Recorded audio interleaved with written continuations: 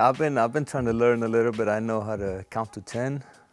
Vienas, do, tres, quatre, penke, šeše, septyni, aštuoni, devyni, dešimt. Um, the shooting wise, shooting threes, I feel like I can Im improve that a lot, and I, I, feel like that's what I what I need to um, improve the most on now. Um, it was it was difficult. I got there uh, two hours before, and we were watching the game. Didn't get much warm up, and I was the first one up, and and I feel like I did not do well. it was it was not good at all. So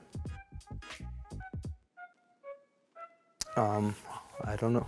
I don't know how well I know, but in the basketball society there, I'm pretty well known. I mean, I've, I've been playing on the national team for many years. I think, like in in the basketball society and whoever follows basketball, I, I think I'm pretty known.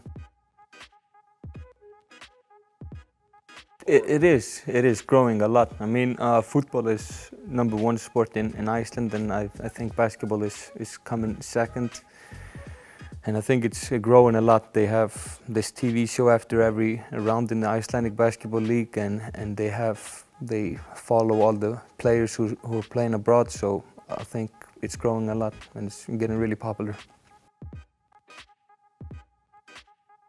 Uh, the the league I didn't know much about, but I knew just about Lithuanian basketball, like their success in the in the past, and I, I played I played against um, the national team before Eurobasket 2017 here in Šiauliai.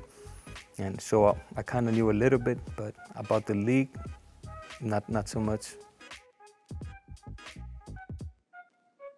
Of course there's a chance, but I'm just going to take it, finish this season as, as best as I can and then see what will happen.